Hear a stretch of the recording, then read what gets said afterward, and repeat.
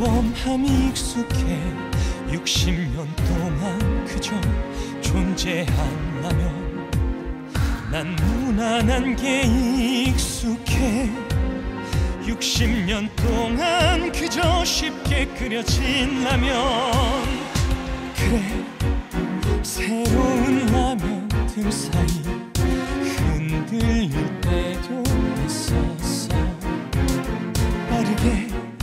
변해만 가는 세상 속에서 진정 난 이대로 괜찮은 걸까? 연차가 폈으리라 한심하게. 그래도 익숙한 맛이 얼마나? 아 지겨운 맛. 저리 가. 내가 그런 말은 알아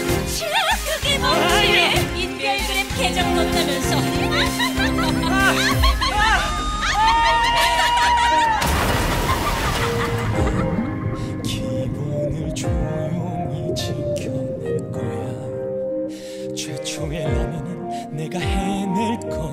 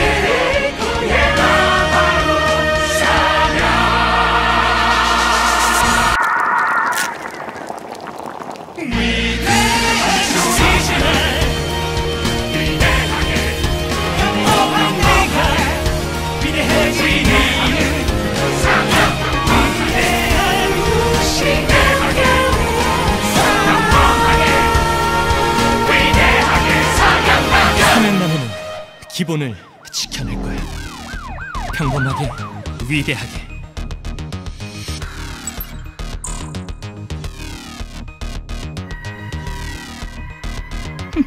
제법인데?